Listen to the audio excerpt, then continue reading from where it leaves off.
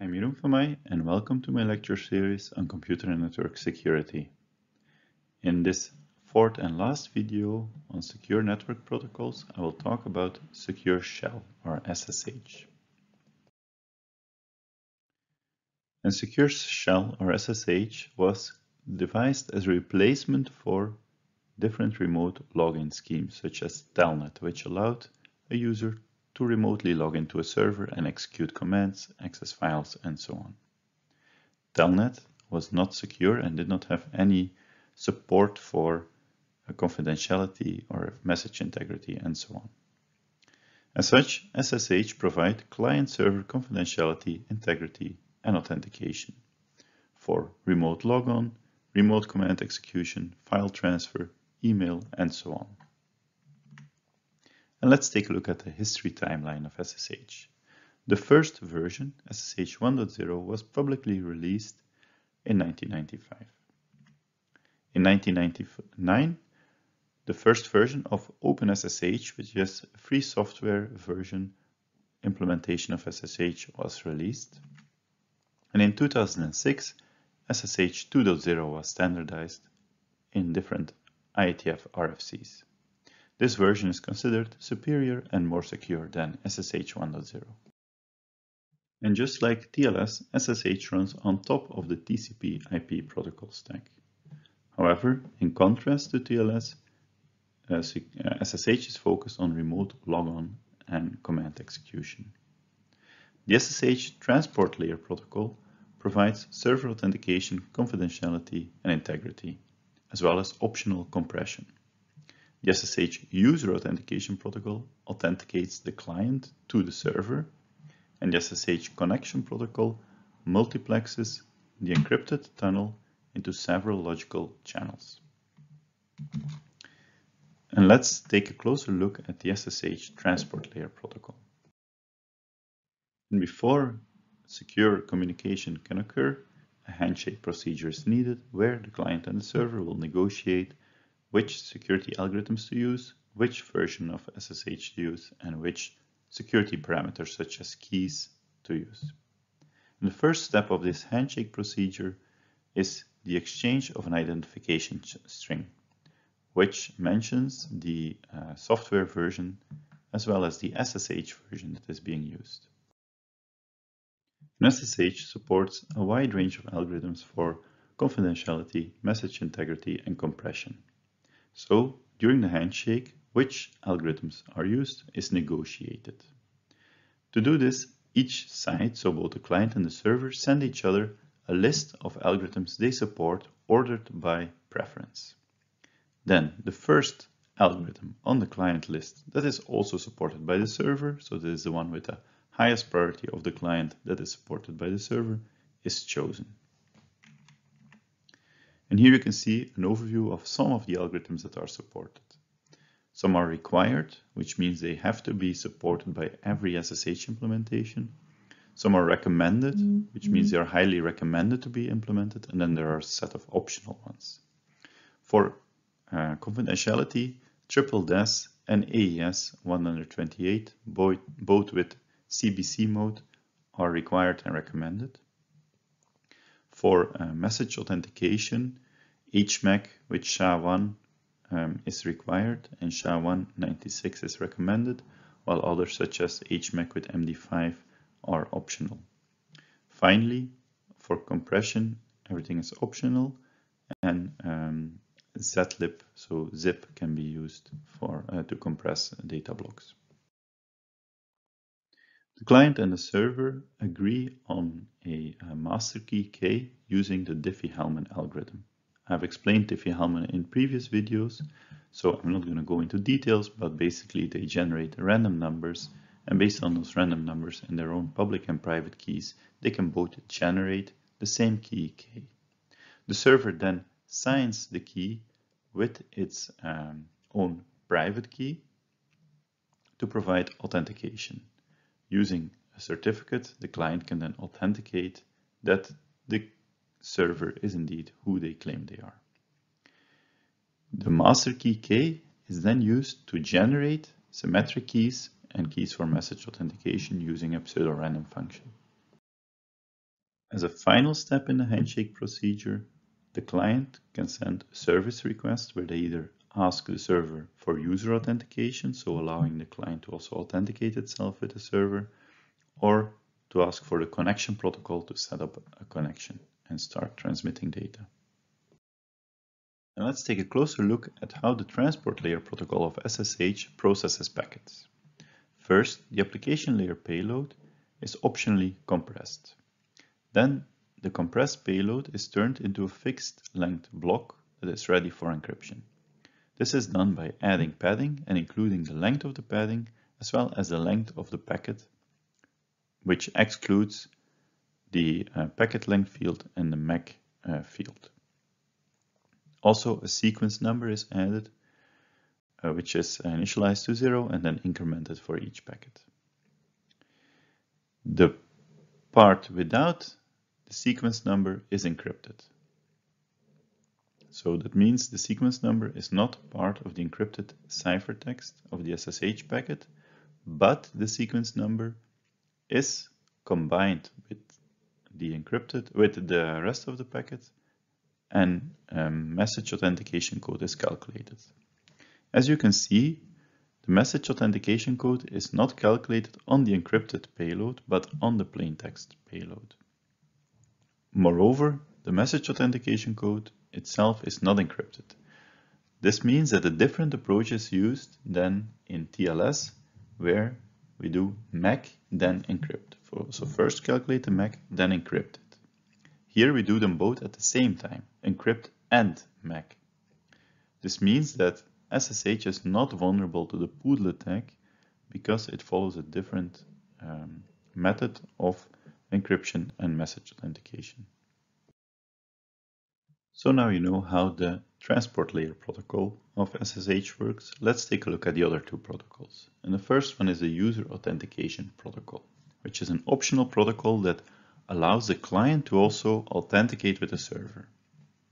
Because in the handshake, only the server authenticates with the client. How does it work? First, the client sends an user authentication request, not specifying any method for user authentication. The client does include a username. If this username is invalid, the server sends a failure message and the authentication stops and has failed. If the username is valid, the server also sends a failure message but states that authentication partially succeeded using the partial flag. In this message, the server will list possible methods that can be used for further authentication by the client client will then use one of these messages and send another request with the message uh, with, with the method they selected. If it is successful and the server requires more authentication, another partial failure message will be sent and the client can select another method and do more authentication. This uh, supports multi-factor authentication. Once the server is satisfied and the user is authenticated with enough methods, the server can send a user authentication success message to finalize the user authentication. The third and final protocol is the SSH connection protocol, which allows um, the client and server to open logical channels over a single secure authenticated SSH connection. That means the client and server can first negotiate and set up an SSH connection, which is also called a tunnel, and then open multiple logical sessions that use this connection for secure communication. And there are different types of channels that can be used with SSH. For example, a session, which is a channel that allows remote execution of programs and commands from the client to the server. There are X11 sessions, which allow remote graphical user interface forwarding using the X window system which is used, for example, on Linux and can be used for remote desktop. Third type of session is a port forwarding session where secure TCP connections are converted into secure SSH connections. That means you can securely communicate across this SSH connection using it as a tunnel with an insecure TCP connection. An SSH port forwarding is one of the most useful features of SSH. In essence, it provides the ability to convert an insecure TCP connection into a secure SSH connection. This is referred to as SSH tunneling, and a port in this context refers to a TCP port, so the identifier of a TCP connection on a local host. When using TCP in an insecure way, the uh, client will bind on a local TCP port, for example port X, and transmit data over the network using the TCP protocol. On the other hand, the server listens on a certain port Y and receives the data as the client specifies to which IP address and which port the data is destined. However, using SSH, we can intercept this traffic. We can create an SSH tunnel that binds on a local port X and a remote port Y, and then forwards all the traffic that is transmitted to X towards Y and send it over a secure SSH connection. An SSH supports two types of port forwarding, local forwarding and remote forwarding. In local port forwarding, the client can set up a hijacker process on its local computer that will intercept selected application level traffic and redirect it from an unsecured TCP connection to a secure SSH tunnel. So how does it work? Well, we configure SSH to listen on this local port, for example, port X. SSH will connect to a remote SSH server and forward all the data to that server. The server will then unpack that data from the secure SSH tunnel and transmit it over a regular TCP connection towards the configured remote host and port. So in OpenSSH, this can be done using the following command. We state that it's local port forwarding, where traffic is intercepted on the local host on port X, sent to the SSH server, where we log in with our username, and then from the SSH server, transmitted over regular TCP to a remote host on port Y. What can this be used for? for example, to securely send email to an SMTP server called SMTP serve on port 25, you can set up an SSH tunnel to an SSH server running on the same server that runs SMTP serve and send all your email traffic to localhost on a port that you decide, like for example 2020, and then setting it up like this all email, if you configure your email client to send email to this port, it will securely transmit that email over SSH to SMTP serve. With remote SSH port forwarding, the client will act on the server's behalf. The client will receive traffic with a given destination, IP address and port number, and will transmit that data over regular TCP towards that destination. You can perform remote for forwarding in um, OpenSSH using the dash R command, setting the port on the server that needs to, on which the SSH server needs to listen and intercept traffic on, and then the remote host and port to which the traffic needs to be forwarded by the client. It can be used, for example, to connect to connect to the work intranet through a firewall um, from your home computer.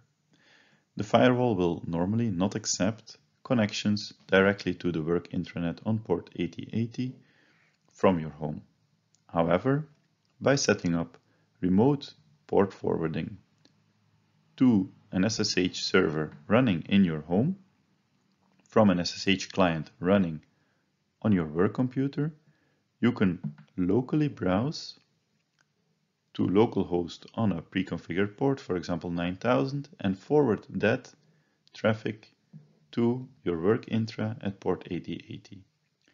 If your firewall at work allows SSH connections, outgoing SSH connections, then this will work and you can circumvent the firewall to browse your intranet from home.